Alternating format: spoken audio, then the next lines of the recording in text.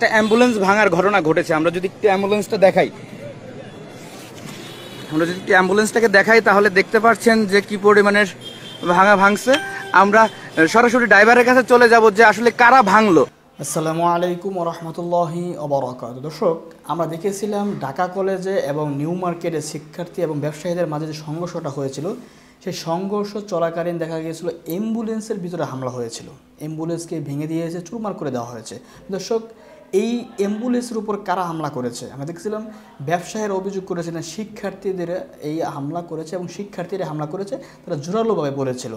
দর্শক, আসলে কারা হামলা করেছিল? সেই অ্যাম্বুলেন্সের ড্রাইভার এবং হেল্পার এবং যারা অ্যাম্বুলেন্সে ছিল, তারা মুখ খুলেছে এবং তারা মিডিয়ার সামনে কথা বলেছে। দর্শক, আমরা দেখব যে আসলে অ্যাম্বুলেন্সে কারা হামলা করেছে, বিস্তারিত কীভাবে হামলা করেছে, আমরা শুনব তাদের মুখ থেকে। একটা অ্যাম্বুলেন্স ভাঙার ঘটনা ঘটেছে। আমরা যদি একটু অ্যাম্বুলেন্সটা দেখাই।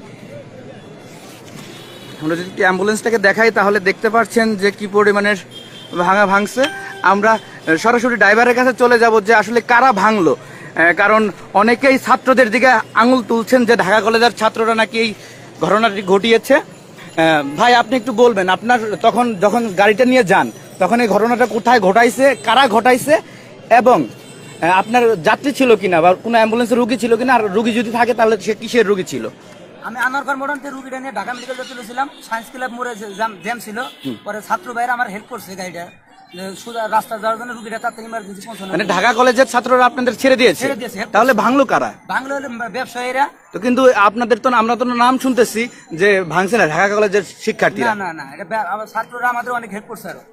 গাড়িটা যাওয়ার জন্য মার্কেটের পোলা বানায় আতঙ্কিত হামলা করেছে। তার রুগীর লোক তাদের রুগীর অপারেশন করা রুগী ছিল। রুগীর কাগজপাতি সব আমি দেখাইছি। রুগী তার গেঞ্জি উঁচা করে তার দেখাইছে অপারেশনটা দেখাইছে তার শেষে তারা মানে নাই। তারা তারপর তো গাড়িতে হামলা চালাইছে। রুগীর মাথা ফাইটে গেছে। পরে আমি রুগীর রুগীর আগে মেডিকেলে দিয়ে পরে আমি মাত্র এদিকে আসছি। আচ্ছা।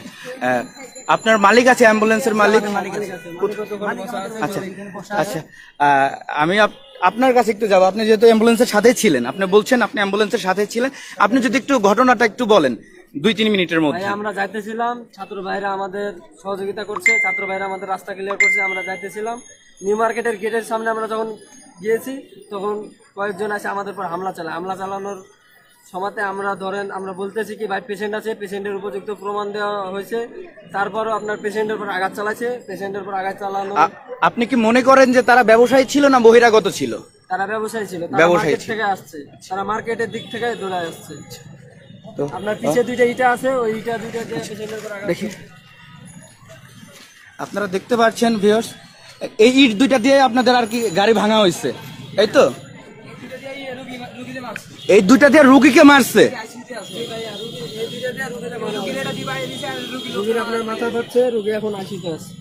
রুগীর বিষয়টা আবার একটু বল- বলতেন যদি।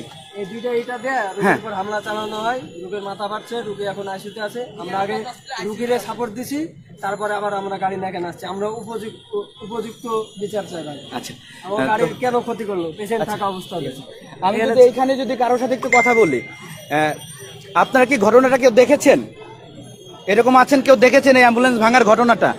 আপনার মালিক কোথায়? অ্যাম্বুলেন্সের মালিক কোথায়? মালিক ওই সামনে আছে ভাই মালিক একটু চা জাস্ট উনি দু একটা কথা বলবে দু একটা কথা বলবে।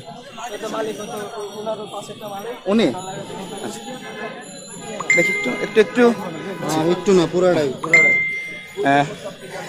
আমি যতটুকু দেখতে পারলাম আমি ছিলাম ঘটনাস্থলে তখন দেখলাম যে ঢাকা কলেজের শিক্ষার্থীরা ছেড়ে দিয়েছে। কিন্তু ওইখানে নিউ মার্কেটের ব্যবসায়ীরা আপনার গাড়িতে হামলা করেছে। কিন্তু একটা জিনিস আমি কিছুতেই বুঝতে পারলাম না কিন্তু নামটা কেন হলো শিক্ষার্থীদের? ঢাকা কলেজের শিক্ষার্থীদের কেন নাম হলো? এটা বিষয়ে আপনি কি বলবেন? শিক্ষার্থীদের কোনো দোষ না ওরা আমাদের কারও দোষ আমার আচ্ছা আপনার পরিচয়টা একটু দিবেন। আমি মোহাম্মদ সুজন হ্যাঁ। হসপিটালের এই অ্যাম্বুলেন্সটার মালিক আমি। আচ্ছা। আমি আমি যতটুকু আমার ড্রাইভার হেল্পার কাছে জানতে পেরেছি বা শুনছি শিক্ষার্থীরা অত্যন্ত ওদেরকে আরও সেভ করছে। ওরা বলছে, ভাই, তোমরা রুগী আছো তুমি এদিকে চলে যাও। ওরা ছেড়ে দিচ্ছে ওরা কোনো ঝামেলা করে না। ওরা আমাদের কারও, আমার গাড়িটাকে, আমার রুগী কারও হেল্প করছে ওরা। কিন্তু যখনই আমি নিউ মার্কেট এলাকায় মার্কেটের কাছে পড়েছি, কিছু লোক মার্কেট থেকে বের হয়ে আমার গাড়ির রড, যা যা ছিল আছে, তাই দিয়ে বাইরে পুরো গ্লাসগুলো ভাঙছে, বড় বড় ইটা মারছে। এবং ইটা মারে আমার রুগী এখন পদ্মা জেনারেল হসপিটাল আইসিউতে আছে। আমি আমার ড্রাইভারকে ড্রাইভার যখন আমাকে জানা আমি বললাম, তুমি তাড়াতাড়ি আগে গাড়ি যা হোক হোক, আগে আমার পেশেন্টটাকে তুমি সেভ করো। তাড়াতাড়ি আমার হসপিটাল নিয়ে আগে পেশেন্টটা ওখানে সেভ করছে ওরা। কিন্তু আমি এর তীব্র নিন্দা জানাই আর ছাত্রদেরকে অবশ্যই ধন্যবাদ। তারা আমাকে সর্বোচ্চ সহযোগিতা করছে এবং হেল্প করছে রুগীরা যাওয়ার মতন। আচ্ছা আপনি আসলে প্রশাসনের কাছে কি বলতে চাচ্ছেন? যে আপনার যে আমরা জানি একটা অ্যাম্বুলেন্সের কিন্তু দুই চার পাঁচ লক্ষ টাকা না। হ্যাঁ অবশ্যই আমি খুব ক্ষয়ক্ষতি হয়েছি তাই আসলে আমি এখানে এসেছি আমি প্রশাসনের কাছে দৃষ্টি আকর্ষণ করছি যেমন এই যারা এই নিউ মার্কেট ব্যবসায়ী মালিক সমিতি ওদের কাছে আমি একটা মামলা করব। মামলা করে ওদের কাছে আমি এটা ক্ষতিপূরণ দাবি করি এবং স্বয়ং প্রধানমন্ত্রীর কাছে আমি বিনোদ অনুরোধ করছি যেন এই ব্যবসায়ীকে কঠিন শাস্তির আয়তায় আনা উচিত। আমি মোহাম্মদ সুজন পদ্মা জেনারেল হসপিটালের অ্যাম্বুলেন্সের একজন মালিক। আমি এই আমার দুইটা অ্যাম্বুলেন্স আছে দুইটা অ্যাম্বুলেন্স আমি কিস্তিতে কিনেছি আর এর অ্যাম্বুলেন্সটা বয়সটা মাত্র তিন মাস একদম নিউ ষোলোর মডেলের গাড়ি এটা। আসলে এটা যা করেছে এটা আমি আসলে বলে বলতে পারব না আমি খুবই ক্ষতিগ্রস্ত এটা। কখন জানতে পারছেন আমি এটা জানছি আপনার সাড়ে বারোটার দিকে। যখনই আমার ড্রাইভার আমাকে জানাইছে ভাই গাড়ি আমার শেষ। তখন আমি সাথে খবর নিলাম, কি হয়েছে বলো এই ঘটনা। এরপর আমি টিভিতে দেখলাম নিউজে দেখলাম দেখলাম না, আমাদের ছাত্ররা যা এখানে, যারা আছে, আসলে তারা খুব হেল্প করছে, তাদের গাড়িগুলো সাইড করে দিচ্ছে। এটা আমি কয়েকটা ফেসবুকে বা কয়েকটা ইউটিউব চ্যানেল ইউটিউব চ্যানেল আমি দেখছি এটা।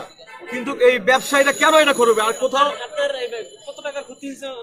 আনুমানিক আমার লাখ খানেক ক্ষতি হবে কেন সবগুলা গ্লাস পুরো গাড়িটা ড্যান্ডমিনি করতে হবে পিছনে গাড়িগুলো রড দিয়ে বাইরে এসে আপনারা দেখলে বুঝতে পারবেন, সামনে হেডলাইট সামনে বনার সবগুলা গাড়ি অরিজিনাল গাড়ি, মাত্র গাড়িটা বয়স মাত্র তিন মাস।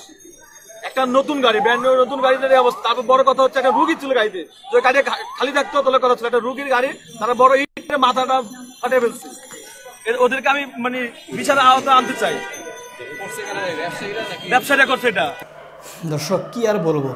আসলে মার্কেট থেকে যারা আসছে, তারা যে ব্যবসায়ী, এটাও কিন্তু নির্ধারণ করা কঠিন।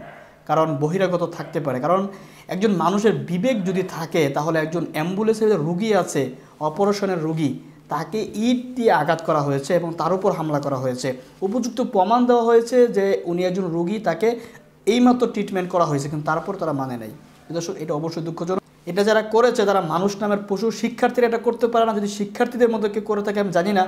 ব্যবসায়ীদের মধ্যে করছে বা শিক্ষার্থীদের মধ্যে করেছে, এটা বিশ্বাসী হচ্ছে না। মনে হচ্ছে যারা করেছে, এটা শীর্ষ সন্ত্রাসী যারা করেছে এটা। তারা মানুষ নামের পশু। কারণ কোনো মানুষত্ব বুধ আছে, এমন কোনো মানুষ এই কাজ করতে পারে না। আপনারা দেখলেন ইটগুলো কত বড় বড়। এটা একজন রুগী, একটা অ্যাম্বুলেন্সে আছে, সেই অ্যাম্বুলেন্সে ইটগুলো দিয়ে আঘাত করা, রড দিয়ে বাইরানো। এটা কতটুক জালেম হলে এই কাজগুলো করতে পারে? দর্শক, আমরা চাই এই অ্যাম্বুলেন্স ব্যয়ের যারা করেছে, সুষ্ঠু তদন্ত মাধ্যমে বের করে এই অ্যাম্বুলেন্সের মালিককে ক্ষতিপূরণ দেওয়া হোক এবং যেই রুগী বিশেষ করে এখন আইসিউতে আছেন, তাকে চিকিৎসার বার যারা এই হামলা করেছে অ্যাম্বুলেন্সের উপর, তাদের উপর দেওয়া হোক। তাদেরকে থেকে টাকা নিয়ে এই রুগীকে চিকিৎসা করানো হোক।